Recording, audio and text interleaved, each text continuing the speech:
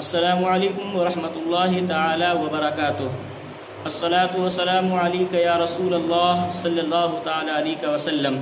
میرے پیارے آقا علیہ الصلاۃ و تسلیم کے پیارے دیوانوں، آج کی اس ویڈیو میں میں آپ کو بتاؤں گا کہ نماز کے اندر کتنے فرائض ہیں۔ اور اگر ان میں سے ایک بھی فرائض اگر انسان کا چھوٹ گیا تو پھر انسان کی نماز نہیں ہوگی سجدہ سہو کرنے سے بھی نماز نہیں ہوگی، انسان کو نماز کو دوبارہ پڑھنا پڑے گا۔ اگر ایک بھی فرائض چھوٹ گئے، تو ہمیں ان فرائض کو اچھی طریقے سے دھیان کے اندر رکھنا ہے اور ان فرائض پر ہمیں عمل کرنا ہے۔ اگر وہ فرائض چھوٹ جاتے ہیں تو پھر انسان کی نماز نہیں ہوگی۔ تو میرے پیارے آقا علیہ السلاۃ و تسلیم کے پیارے دیوانوں، اگر میری ویڈیو پسند آئے تو آپ اسے لائک بھی کریں، شیئر بھی کریں اور اگر آپ میرے چینل پر نئے ہیں تو اس چینل کو سبسکرائب بھی کریں۔ میرے پیارے آقا علیہ السلاۃ و تسلیم کے پیارے دیوانوں، نماز کے اندر سات فرائض ہیں۔ ان ساتوں فرائض کا ادا کرنا ضروری ہے۔ اگر ایک بھی فرائض چھوٹ گیا تو پھر انسان کی نماز نہیں ہوگی۔ نمبر ایک، تکبیر تحریمہ۔ پہلی اللہ اکبر جس سے نماز شروع ہوتی ہے۔ جب انسان نماز پڑھنے کے لیے آتا ہے اور نیت کرنے کے بعد جو تک پہلی تکبیر کہہ کر کے نیت باندھتا ہے، اسی کو تکبیر تحریمہ کہتے ہیں۔ یہ فرض ہے، اگر انسان یہ چھوڑ دے تو پھر انسان کی نماز نہیں ہوگی۔ نمبر دو ہے قیام۔ یعنی نیت باندھنے کے بعد انسان اتنی دیر کھڑا رہے جتنی دیر میں سور فاتحہ اور چھوٹی صورت پڑھ سکتا ہے۔ اتنی دیر کھڑے رہنا فرض ہے۔ اگر انسان اتنی دیر نہ کھڑا رہے اور ڈرکو میں چلا جائے تو پھر انسان کی نماز نہیں ہوگی۔ نمبر تین ہے قرات قرات یعنی سور فاتحہ کے بعد سور فاتحہ الحمد للہ رب العالمین الرحمن الرحیم، یہ جو ہے الحمد شریف، اسی کو سور فاتحہ کہتے ہیں۔ سور فاتحہ کے بعد ایک چھوٹی صورت یا ایک بڑی آیت یا تین چھوٹی آیت جو ایک بڑی آیت کے برابر ہو یا ایک بڑی آیت جو تین چھوٹی صورت کے برابر ہو تو انسان اتنی دیر تک کھڑا رہے یا سور فاتحہ کے بعد یہ اتنی آیت ضرور پڑھنا چاہیے۔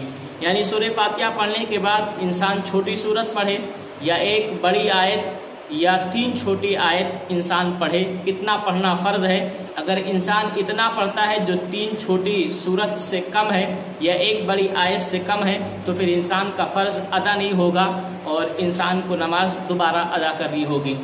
نمبر چار رکو رکو کے اندر انسان کو اتنا جھکنا کہ وہ ہاتھ بڑھائے تو گھٹنوں پر پہنچ جانا چاہیے۔ اور انسان جب رکو کرے تو انسان رکو اس طریقے سے کرے کہ اس کی پیٹھ جو ہے وہ پوری طریقے سے بچھی ہونی چاہیے، سیدھی ہونی چاہیے۔ اتنی سیدھی کہ اگر پانی کا گلاس اس کے پیٹھ پر رکھ دیا جائے تو وہ گرنے نہ پائے۔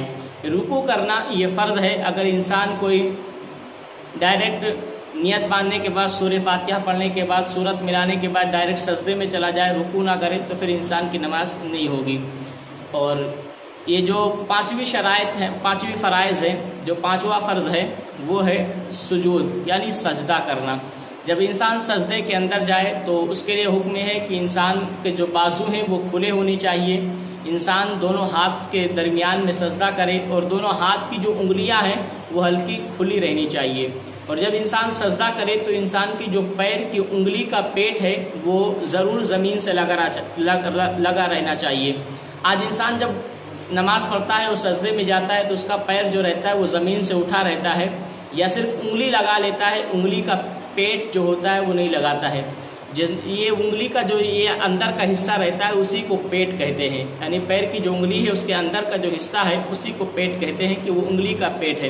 تو ایک سجدے کے حالت میں ایک انگلی کا پیٹ زمین سے لگانا یہ فرض ہے۔ تین کا لگانا واجب ہے، پانچ کا لگانا سنت ہے۔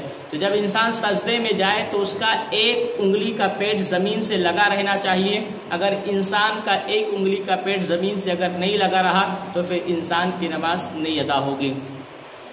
نمبر چھ، جو چھٹی شرائط ہے، چھٹے، چھٹا جو فرض ہے، وہ ہے کہ جو چھٹا فرض ہے، وہ ہے قائد اخیرہ۔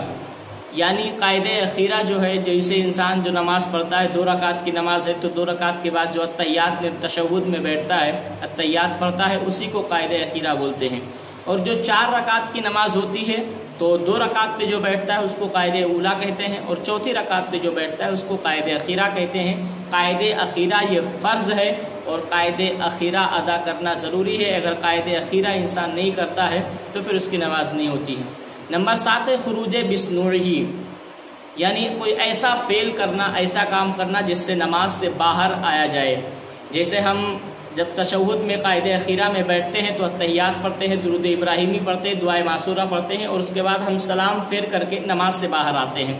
تو یہ سلام پھیرنے کو خروج بسنوعی ہی کہتے ہیں۔ اگر ہم سور فاتحہ، اگر ہم اتحیات پڑھنے کے بعد، درود ابراہیمی پڑھنے کے بعد اور دعائے معصورہ پڑھنے کے بعد، یہ سب پڑھنے کے بعد اگر ہم ایسے ہی نماز چھوڑ کر کے چلے آئیں تو ہماری نماز نہیں ہوگی، کیونکہ ایک فرائض چھوٹ رہا ہے۔ وہ ایک خروج بسنوڑ ہی کوئی ایسا کام کرنا جس سے نماز سے باہر آ جائے۔ تو جو سلام پھرتے ہیں، اسی سے نماز سے باہر آتے ہیں۔ تو سلام پھرنا بھی یہ فرض ہے۔ ان ساتوں فرائض کو ادا کرنا ضروری ہے۔ اگر ان میں سے ایک بھی فرائض انسان چھوڑ دیتا ہے، تو انسان کی نماز نہیں ہوگی۔ اس نماز کا دوبارہ پڑھنا واجب ہے۔ میرے پیارے آقا، علیہ صلاحت و تسلیم کے پیارے دیوانوں، مجھے امید ہے کہ آپ کے سمجھ میں آ گیا ہوگا کہ نماز کے اندر کتنی فرائض ہیں اور ہمیں کیسے ادا کرنا ہے۔ اگر وہ چھوٹ جاتی ہیں تو ہماری نماز نہیں ہوگی۔ اگر کسی کے سمجھ میں نہ آیا ہو تو کمنٹ باکس میں آ کر کے وہ اپنا مسئلہ پیش کر سکتا ہے۔ انشاءاللہ اس کے مسئلے کا جواب دیا جائے گا۔